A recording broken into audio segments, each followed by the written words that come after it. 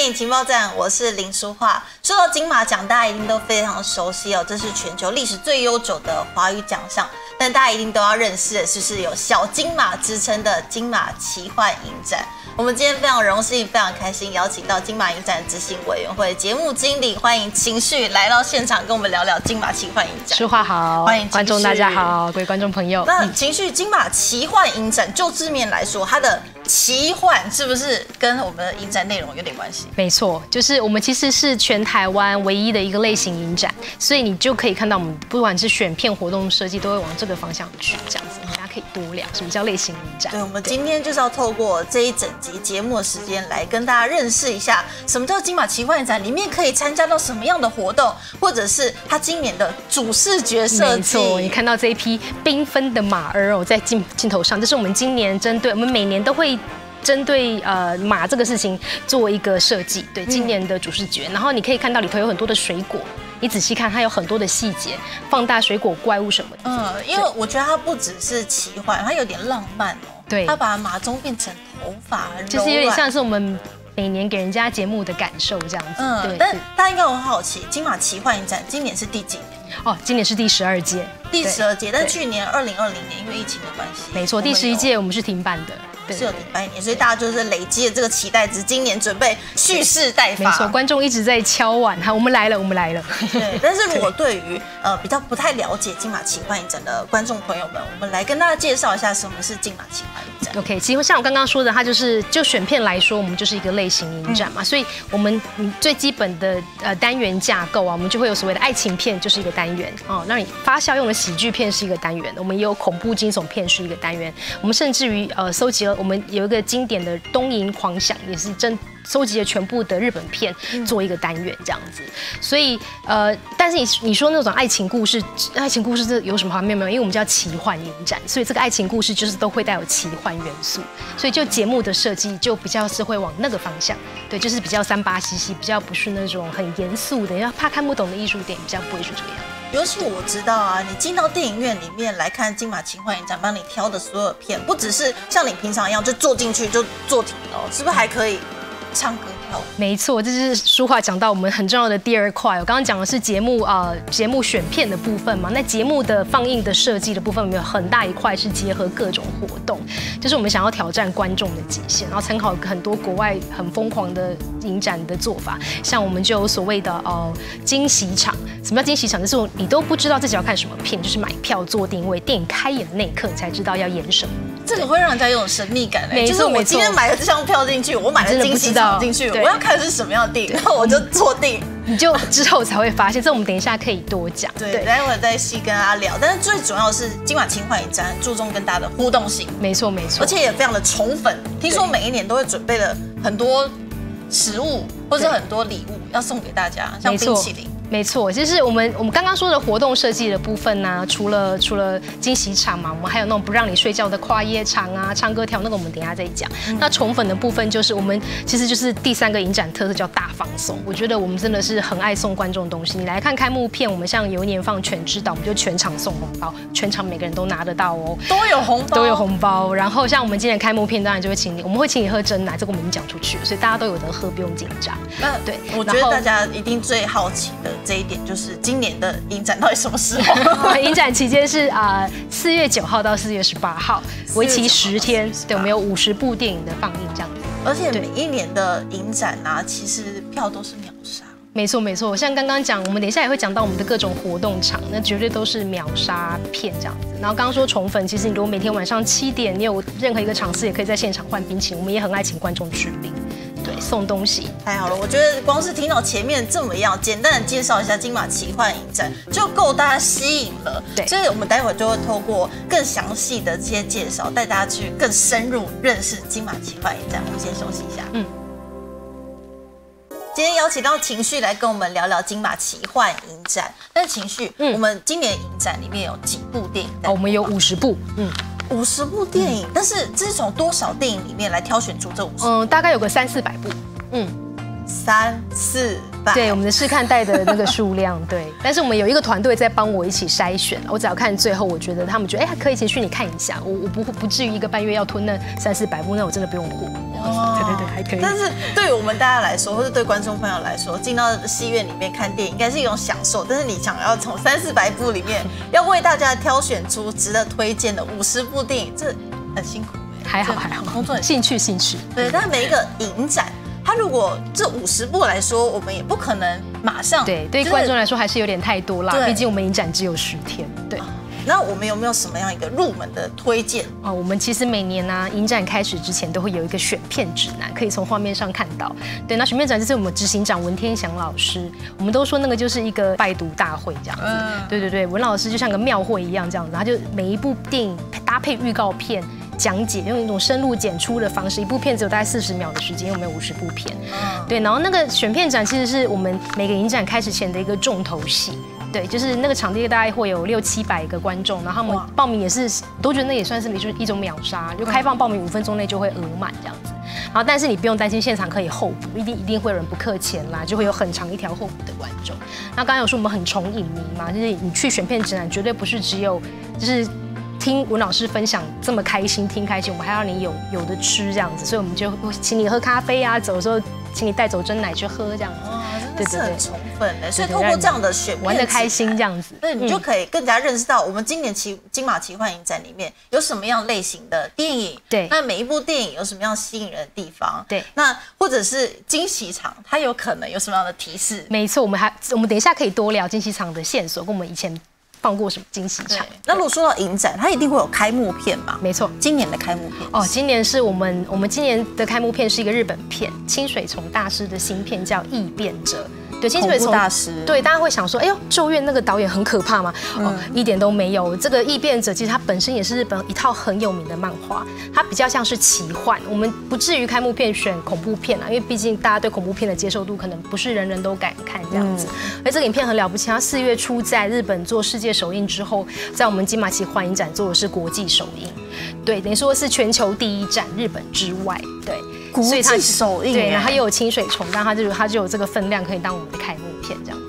对，然后大家一定要非常期待啦！国际首映，你可以多么的你要自豪，我比大家还要更早看到。等一下还会有一些世界首世界首映这样子。哦，这不只是这一部哦。对，然后它的内容，它的主演是呃林野刚跟陈田林，也是两个现在很重要的日本演员。林野刚其实也是有一定的知名度，陈田林我觉得他正在大红大紫。那陈田林在里头就饰演一个外科医生，他一直想要做一个所谓的一个一个把你的脑袋激活的一个手术，他就用一笔钱说服了林野刚，在他脑脑袋钻钻一个洞活血，看之后会发生什么事情。就他被钻洞了之后，你知道发生什么事吗？他被钻了洞之后，他只要遮住一只眼睛，他就会看到他看到的人就会都变形，就是就所谓的异变者。举例，他今天。看到一个黑道大哥，黑道大哥居然变成一个机器人，这样，那他真的收很多钱才 接受做这样的事情哎。你 说，你说睁眼睛看到对，那其实这个骗子也不是说单纯这么奇，只只是在一些鬼把戏，没有没有，他其实是言之有物。他最后要讲的就是你每个人，其实你住你你都是有一点空虚的，你都是还是要回归到观看自己的本质是什么，缺乏什么这样。它的一个中心的主旨，它有更深层的意义在里面啊。所以今年影展的开幕片就是《异变者》。嗯。記憶ないんですよね。なんだお前。ある仕事を引き受けてほしいんです。トレパネーションって言って頭蓋骨にちょっと穴を開けるだけなんですけどね。お前の目的は何だ。生きる理由をあげますよ。 実験期間は今日から7日間。第六感が芽生えたり記憶が戻ったり。あなたには見えるんです。本当の世界を。本当の世界ってなんだよ。ホムンクルスなんだよこれ除了是呃开幕片之外，我们要开始聊主题喽。当然，主题特别放映哦，对，大家想说什么特别放映哪里特别啊？其实应该是我们迎战，嗯，一直以来都有针对所谓的台湾制造。对，Made in Taiwan 的影片，对，集结成册，所以这些特别放映的影片呢，真的是你不只是看片哦，影人他会到现场跟你进行 Q&A 跟互动，回答你的问题。我最喜欢这类型，对，其实通常你看完电影就会很想要了解，假如说导演他对这部片的想法是什么，对，或者是演员他在演出这一部电影的时候，他怎么诠释的，对，怎么诠释的，所以在特别放映的这个主题里面。就是会有影人出现。没错，然后今年我可以简单讲一下，今年我们三部特别放映。对，第一部其实是林正盛导演哦，他从二零一八年开始就举起了导演，就是就拿起镜头，然后就开始拍摄一群嗯纪录片呃自闭症的小朋友这样子，自自闭症的孩子。那你就会发现说，其实这一群自闭症的小小孩，他们他们都在自己的世界里头，然后但他们的世界都非常的精彩，他们他们每一个人就是一个自己的行星，然后有各种想象力，都有着什么外星人要来打，谁要来救，然后。然后他们就透过绘画的方式、音乐的方式，把他们的世界，就是就是他们对外沟通的方式。所以你就看到那些孩子们都有一些很惊人的、很奇异的画作。嗯，然后这个片子其实没错，它就是一个纪录片。然后那些孩子在自己的星球上，就是过着很丰富的生活。到我们地球，它其实是个迷路的状况，所以它影片就叫做《地球迷航》。地球迷航，对，非常的感人。那在特别放映单元里面，除了有像纪录片，对，是不是有影集的形式？没错，没错。我们这一次，因为台湾影集，尤其是今年这两年会非常越来越精彩，这样子很丰富。然后我们有我们第二个，而且我们的影集，我们以上述特别放映这三个都是世界首映了。我们都说我们其实是宇宙首映啦。对，我们就是第一波行销宣传第一波。然后我们另外一个第一个要讲的这个剧是叫做《火神的眼泪》，到时候对看剧不见得都只能在电视上看，我们是抢先播映，而且是在大荧幕，我们播一二集。那《火神的眼泪》讲就是一群打火英雄的故事啊，对，然后他们不止打火，就是你平常打一一九消防车出动，他们就是也要开着消防车消防车去救人这样。里面也会都有提到，对，所以你只是单纯的两集就可以给你看出角色本身消，就是这些打火英雄们他们自己角色的生活的困境。然后以及不是说他们都会开车出去嘛？他们面面临的每个案件，然后每个群众，有些群众就是因为家人生病紧张会对你大小声；有些人就是你不要碰我的妈妈，但他妈妈其实已经倒在地上，你就是开着救护车去救她，就是各种你也可以看到很多的众生相，就是非常的就是有有非常的精彩，而且很有深度，也可以开放很多的讨论，而且卡斯还不错。重点是卡斯，因为我觉得光看这个卡斯哇非常厉害，温升豪对陈婷妮，然后还有林柏。宏、林柏、刘冠廷、刘冠廷，对他们四个都会到，希望可以到现场来跟各位观众互动互动。对，那除了这两部之外，还有一部也是影集，没错，这个是比较短版的影集短片的，对，然后它总它是一个二零四九。它叫二零四九系列，就是一个你听这个名字知道是年份嘛，是一个未来系列。然后拍了三组，我们针对其中一组叫做刺猬法则，讲母女的，叫女性情节的。然后我们做里头一到三集的放映，对。然后它的设定也是非常的，你就想象在未来世界，然后你如果要看心理医生，他都是可以直接把你的记忆给叫出来，那就把你的梦魇整个当给人家看。然后主角其实就是一个一个一个心理医师，女心理医师，然后跟一个女病患。然后他的这个病患就上门来求诊嘛，然后病患就是缠着他，请他帮我解决我长久以来的梦魇问题，所以这个心理医师就说好，那我们就来看看你的梦，你你让我进去跟你直接把他梦叫出来，就他的梦叫出来，就被他们那个那个病患的梦给围绕住，就那个梦演了一遍之后，那个心理医生就发现我的天呐，这个梦魇跟我一直以来的梦魇一模一样，只是角色换人。好，我只讲到这里。对，就是这个，就是很标准的、很奇幻，就可以看得到台湾的创造力在哪里。嗯，就是就是一点，它预算其实不高，其实你看那个剧照也看得出来。对，可是就是就是比较是那个创意跟那个故事这样。对，然后主要的演员，而且这个我刚刚没有讲到，还有陈妍霏，就是金马奖去年的新人得主陈妍霏，她也会到现场，她也她也有参与演出，然后她也可以来 Q A 这样。对，有小金马之称的金马奇幻影展，今天来跟大家介绍里面有什么样主题内容。刚跟大家介绍过了，我们接下来继续聊到的是招牌单元之一，对，招牌的惊喜场，对，惊喜场，对，光听这个名字，感觉就是进去看电影会有惊喜。对，就是其实怎么叫惊喜，就是你不知道你要看什么片嘛。对，就是你买票进去，那我们我们在看我们呃，这个是我们。本来是跟着什么路特大影展，对他们就是有一种放映，是你就是跟你讲时间几点开演，你人进去演的那一刻，你才知道你要看什么。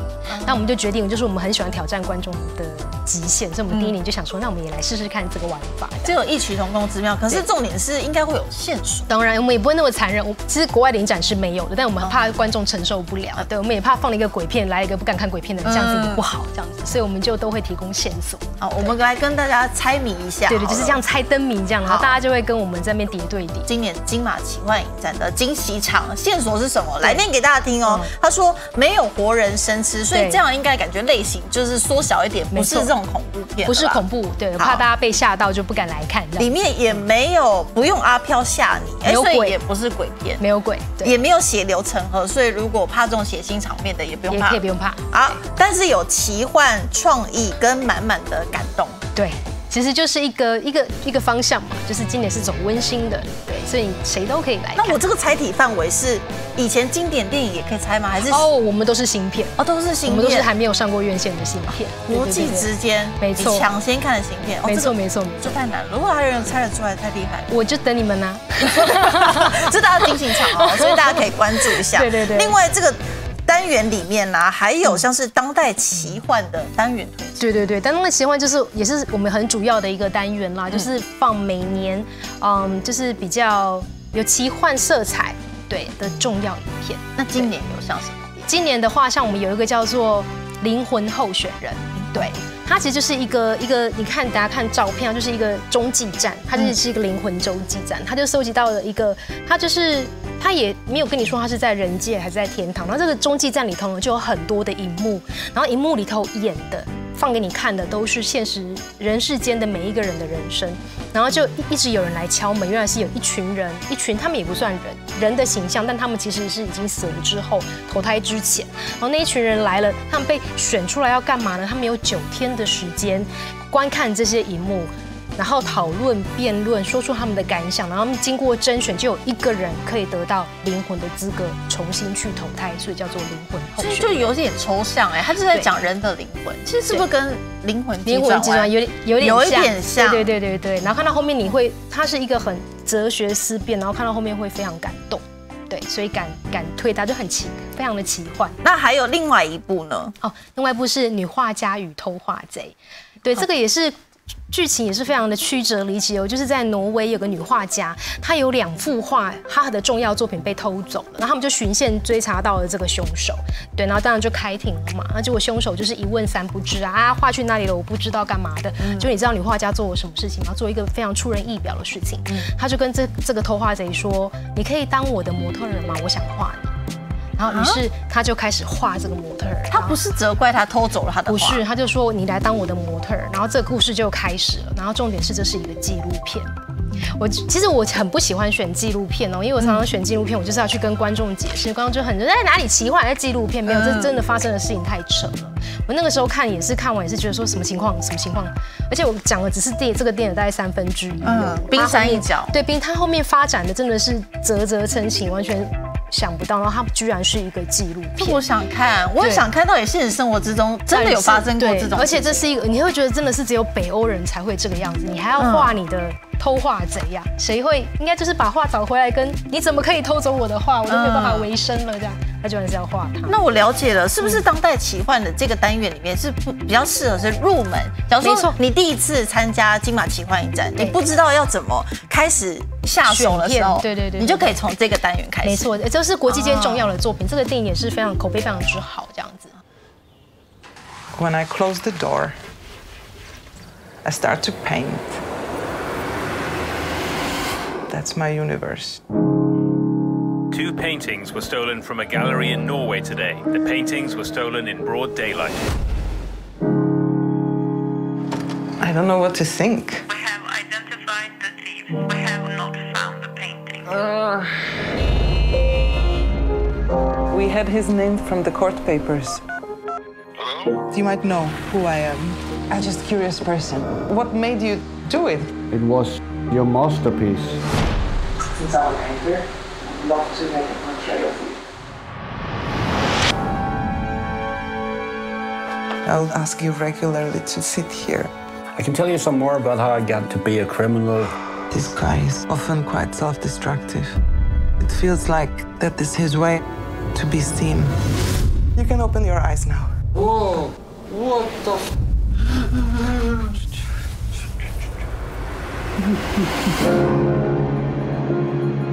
there was no way how I could see the thief in this guy. You ser meg jævlig godt, men hun glemmer av og til at jeg ser henne minst like godt. I might never find out where the paintings are. Do you know anything about black market with art? I have told you everything I remember, and that's the truth. Gå får hjelpe meg så. You're the craziest person I've ever met. Let's see what you're doing for me. You inspire me. This is insane. This is a very, very sneaky guy. He's a bad boy, really bad boy. I started to search for the paintings. You must know where it is. Do you understand the risk? Don't even try. Just tell me. Don't even try. I'm serious. This is destructive. 看了当代奇幻单元推荐，接下来我们要聊的是非一般爱情。对，就是我刚刚说的爱情故事，我们也给他一个单元。对，非一般爱情为什么会叫非一般？因为就是不是一般的爱情嘛，有些奇想。像我今年就我今天带来要介绍的，就是就是也是一个科幻设定，嗯，对，就是给你当一个例子。对，这个片名叫做《爱在遗忘蔓延时》。对，为什么很特别吧？为什么要叫什么什么叫遗忘会蔓延？其实这个这个电影的背景，它是也是一个未来世界的设定。然后这个这个世界跟我们现在有一点像，它也是在一个传染病大流行的状态。但这个传染病它就是啊有点无色无味，你要怎么染上传染途径，没有人知道。但你一旦染上了这个病，你就是会忘记一些事情，但不是那种失智，也不是帕金森失智，它就是会忘记你生活中的一件事情。所以就有渔就就有渔夫在呃，应该是说就有人。在海上，然后就打捞到了游泳的人，救到救起了一个游泳的人，就 turn out 那个人是个渔夫。他说我开船出海捕鱼，然后突然间就忘记了怎么开船，突然间不会开船了，所以我就只好跳下船要游回岸边。嗯，就他就是他就突然间染了这个病，他忘记了怎么开船的这个技能，这是其一。然后有人会是呃睡醒之后发现床边怎么多了一个陌生的女子哦。那个是他结婚多年的妻子，这个妻子就从他的记忆里头全部被抹去，全部就消失了。对，就是这是这个病的一个特征。然后主角，主角跟他的老他的女朋友或老婆，就是他们是一对 couple，他们感情非常的好。那男主角就是开始发现自己好像也开始在忘记关于女生的事情。对，所以你就看他们这么的相爱，他要怎么样记住这一个他觉得即将要。失去的记忆，然后这个电影看到最后很动人，然后你看到最后一个镜头，一定会想要回去看第一个镜头，所以大家一定不要迟到。然后看到后面会有点像那个时候的《王牌冤家》。那招牌单元里面，除了我们刚刚讲到非办爱情，接下来我们要聊是东瀛狂想。东瀛就是大家一般对于日本的代称。对对对，日本对，就是我们一直一直以来就是都有收集到，因为日本真的很疯。我等下介绍这部电影也是因为觉得哈什么这样子也能拍成电影，太太厉害了。嗯，对，我们直接进入正题。哦，这个片叫呃超越无限两分钟。那故事非常的简单，就是主角开了一个咖啡厅，咖啡厅他自己就住在咖啡厅的楼上，所以距离很近。然后咖啡厅有一个荧幕，对他是在监控咖啡厅发生的事情。然后这个荧幕跟他楼上房间里头的自己。家里的电脑荧幕是通的，它才可以相通的，对，才可以监，就是如果晚上关电之后，才可以就是开始看店里有没有遭小偷或者怎么样嘛。那有一天他回到他的房里之后，他的荧幕亮了，然后那个荧幕就开始叫住他说：“哎，这里这里。”就说：“哈，就荧幕里头有另外一个自己，他自己本人在跟着他说话，说：你好，我是两分钟后的你，我现在人在楼下。”你等一下要跟我做一样的事情，你要到楼下跟未来的两分钟的你说你是两分钟后的你，他的逻辑就是这个样子，对，而且怎么有点烧脑的感觉？对，它非常，而且最厉害的是它是一个嗯一镜到底的线性拍摄的影片，然后创造出这种非线性的逻辑。就是终极的时光科幻电影，好难以想象啊。因为你说它是一镜到底，对，可是它又有点像是预告两分钟之后，它自己本身会发生。对他们那一群人就靠着哦，原来我这个荧幕可以互通，我可以看到两分钟后的自己，再看到两分钟后的自己。那如果我们把这个两分钟无限延伸，我们是不是就可以到未来？他们就想办法要破解这一个所谓的这个时像个时空的一个状态。它逻辑是对的，对它的逻辑是对的。如果我们一直无限延长这个你未来两分钟，是不是我就可以预测到未来的世界发生的事情，然后就会有一些事情发生嘛？当然，然后这个是一镜到底，我觉得非常的厉害，就是有日本人才拍得出来。这个算日本的独立制片，没错，独你看那个影像结构就是比较是，因为他们他们本身是个剧团，这是个舞台剧，对，所以就是就是他们就，而且好像是用 iPhone 拍的，我如果没记错的话，才可以这么的灵活这样。我在网络上没有看花絮，他们这个是时间真的要算非常好，默契时间也要很足。对，还有你放的影片，你那个每一个影片都要先录好嘛。嗯。你回过头去，未来自己跟自己讲话，自己下楼之后要跟未来的自己讲话的这个，这个要一一秒之差，可能就对，你要一直很专注去想，你才不会从他的那个逻辑里面跑。哦，这个这部很特别，这有点像是时间科幻片。没错，没错，这也是我们比较标准的奇幻影展的精神。嗯，我常都这么觉得。所以这一部片就会在今年的东影狂想主题里面。这一部叫做《超越无限》，两两分钟。嗯。リハーサル順調ですか？いじってくん うちは持って見に行きますよ。マスターって書いてあるやつ。おい、おい、こっちこっち、モニターの方。よ、俺なんだけど。おお。俺は未来の俺なんだって。2分後の俺なんだって。俺に話しかけてる？お前に話しかけてる。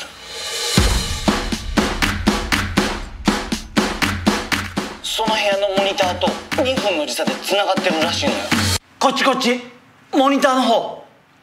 よタイムテレビ的なやつじゃないですか？過去ってこと？全然わかんない。未来がわかるんです。行ってきます。パラドックス起きちゃうから。起きてもいいですよ。入れ子構造っていうかドロステ効果っていうか。僕が現在の僕で。僕が2分後の僕。で僕が4分後の僕。夢の中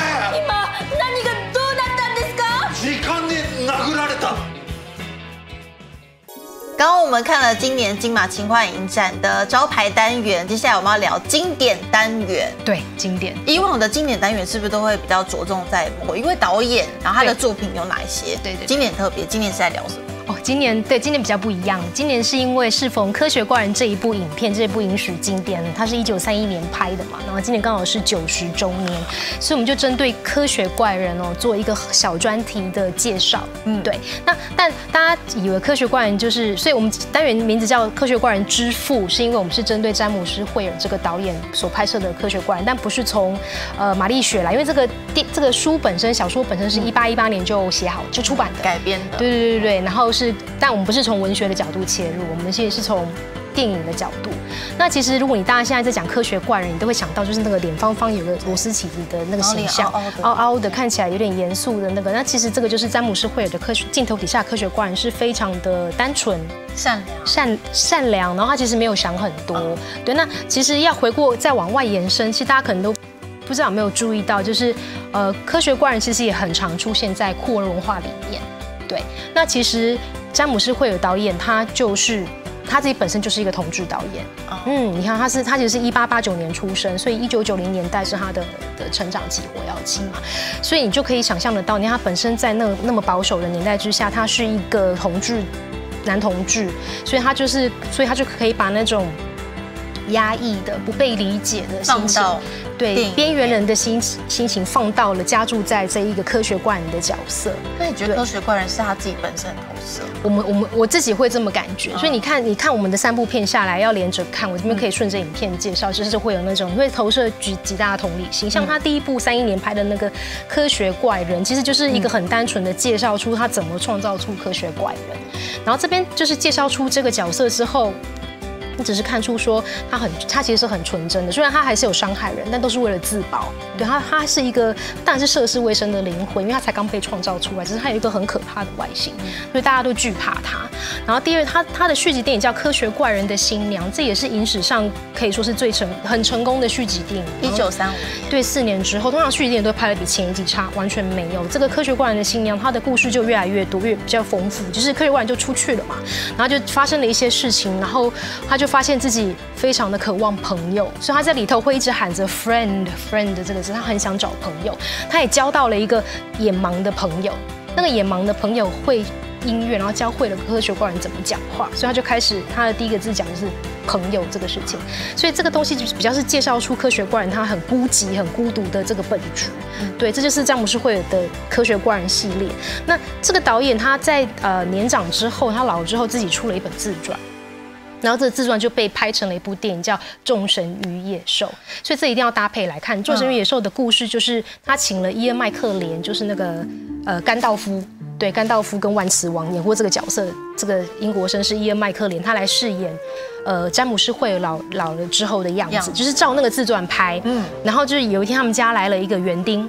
精壮的园丁哦，就是年轻的肉体，然后那个是布兰登·费雪饰演，那个时候他还俊美，就非常的可口。这样，这个园丁来了，然后发现这个老人好像要染指他，那其实他这是事情的真相不是这样，你顺着故事看，最后他是想要做一件事情，嗯，对，那这个东西都会扣回到这个孤独的主主题，这个自我厌恶的主题，这个压抑的主题。所以，其实你如果是先看了呃《科学怪人》《科学怪人的新娘》之后，再来看《众神与野兽》，你从了解导演之后，再去看导演创造出来的这两个角这个角色，是真的会心碎，对。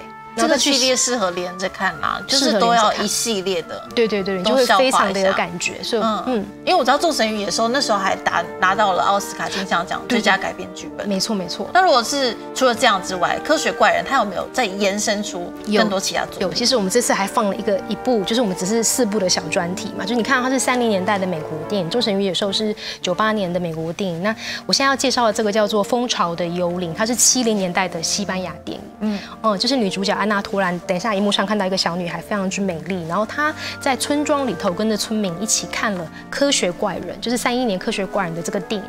然后看完之后，又被姐姐跟姐姐这样聊天，她就相信了科学怪人的存在。那有一天，她就在他们家的谷仓那边发现了一个大脚印。他进去发现了一个躺躺着的人，他就想象了科学怪人对，他就深信这个就是他的科学怪人，他就去照顾这个人。那 turn 就是其实那个那个时代背景是一个战乱的时代，他是一个逃兵，他遇到了这个男子。然后其实往后来看，这是一个有点悲伤的故事。但小女孩她不知道，对她照顾到最后，哎，这个伤兵怎么不见？他的科学怪人怎么不见了？对，这个也是一个影史经典哦。今天如果不在科学怪人的单元。介绍的话，也是很多人会，就是它就是一个有名的片啊，《蜂巢的幽灵》。那个时候，呃，吉勒摩戴托罗导演的什么《杨澜的迷宫》啊，宫崎骏的《龙猫》，都是被这个影片影响。嗯，对你如果有看完这个影片，再去想一下，你就可以理解，其实都是那种从孩童同志的角。眼光去看这个成人的世界的那种那种温柔的那种脆弱，嗯，对对？所以我觉得这部片就算它不在《科学怪人之父》我们今年这个经典单元里面之外呢，它搞不好也会在影迷许愿池里哦。对，它其实也被许过，它也被许过很多次。因为在每一年的金马奇幻影展里面，影迷许愿池这是一个非常重要的部分，就是跟大家互动。没错，请听大家的声音。你想看什么电影，就用什么方式。就是我们现场会有背板，然后你就去跟工作人员要纸。那有些人会自己打一些 A4 纸，打长长条，想逼死我们，就是，然后直接去现场贴这样。有些人去看电影，你说他就会自己在 A4 纸上面打了我要看什么很很厉害的影迷，我就觉得哇，我们因为我们每次影展结束，我就是真的是就是我自己哦，我们影展组的节目部的人，你们都撤场之后，大家走光，我们就去把那些便利贴一张一张撕下来，那我就会一点，然后回到回到公司就是找一个下午把他们全部 key 成档案。会简单。我每次选了演的这些片子，我都跟影迷说：“哎，你们要来还愿哦，哈，你们不要给我许愿不来还，一定要来给我还愿。许了还不来看？对，我真的就是觉得，那我干嘛选呢？这样。那也有影迷超可爱的，就是例如说他选的片被他许的片被选上了，他就每一场都看，然后拍票根，然后偷到我们的对，跟我们证明说我有来，我有来，这样子，这样子可爱，好可爱啊！所以这是影迷许愿池。那像是今年的影迷许。哦，有一部也是跟我就跟 E.T. 是同等级的，叫做《七宝奇谋》，你你听过吗？你出生了吗？没有。一九八五年的电影，他演的时候我也很小，这样子。我我自己重看才发现说，哎，我小时候看过，我被他吓过。看了一下资料，里面还有现在的巨星。对，小时候。对对对，因为你想想看，它是一个一九八五年的电影嘛，里头有什么？就是复仇者联盟那个大坏蛋萨诺斯。萨诺斯对那个角色 Josh Brolin，他在里头是一个。青少年的样子。然后还有那个魔戒里头的山姆，他在里面也有演。对对对对，可以看到很多剧情他青涩时候对对对对对，七宝奇魔就是七个小孩子。那其实这个这个电影很厉害，他还启发了后面就是拍那个影集《怪奇物语》。对，就是七个这这些小孩子他们去探险、去寻宝，然后发生的一些奇幻的过程，这样。我知道《七宝奇谋》这一部电影，它是很多导演都是不敢接下来说要拍续集，对，跟要重拍这件事情，因为它太经典了。对它它里头，你你现在现在来看都不会过时。除了这部之外，《英医学院》之还有另外今年还有放一部法国动画片《佳丽村三姐妹》，这个也是超级经典。那故事很简单哦，就是一个奶老奶奶，她一个人只身远渡重洋去美国干嘛？救他的孙子。对，他的孙子其实是一个成年人，可是是个自闭自闭儿这样子，然后很喜欢骑脚踏车，然后在越野赛的时候被邪恶的美国人给绑架，绑去美国，利用他的劳力这样子。利用它，然后这个这个是一个你你你如果等一下看到它的画面呐、就是跟我们想平常看什么皮克斯动画可爱的风格是完全不同，音乐也非常的不一有样。我有看那个片段，我觉得它里面很有艺术感。对对对，非常你会你真的是会大开眼界，而且很好笑的是，因为是法国人拍的嘛，它里头就是一直在暗讽美国人爱吃汉堡又很胖这样子，但是他的自由女神都是胖的，啊 帮美国人看了会不会生气？对对对对所以今年的影迷许愿只刚刚除了讲到七宝奇谋，还有这一部电影就是《嘉利村三姐妹。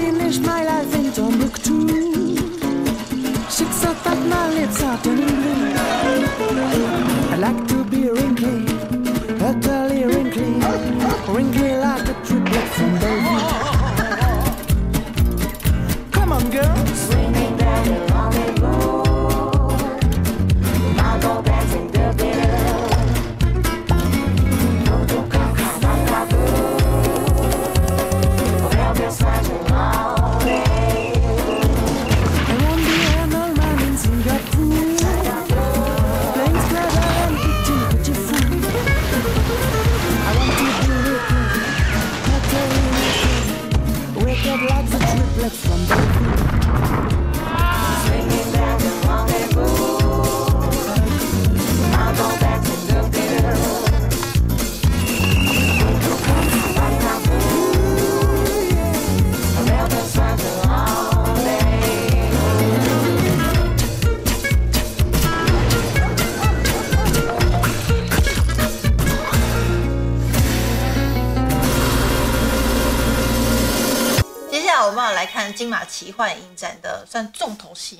扛把子，自己会这样讲，不让你睡，不让你睡。为什么是不让你睡？因为我们就是在呃捷运的最后一班，让你搭最后一班捷运来到戏院，看看看看看到天亮，第一班捷运送你回家。对，最后一班捷运到第一班捷运 之间的跨夜场，很晚啊很晚，然后到隔天一大早，然后连续看几部。看有时候三部，有时候四部，看我们的怎么安排，看片子的长长短这样子。那今年安排的主题是今年是我先可以讲下去，以往啦，因为我们有有过恐怖的，我们有过《医院风云》这个可怕恐怖的影集，然后呃十周年的时候，其中一组跨夜场我们做两组，其中一组是异形，大家比较熟，异形一二三四。对，然后今年因为之前都太严肃了，所以我们今年想要好笑一点，我们就做了一个喜剧嘛？喜剧，对，威尔法洛的一个运动喜剧单元。但你刚刚说之前那恐怖片，我觉得很好奇，谁的半夜去看恐怖片？我一看就看 很多人来看，而且我自己 我自己也有去看，但是我我是在一个一个工作的地方，就是工作区，就我周围是没有人的。我一我好像看到两点多还是三点，我真的太可怕，我觉得太害怕，因为那区只有我一个人，像鬼屋一样，我就自己跑掉了。那你们有没有给大家一些什么心灵上的安慰？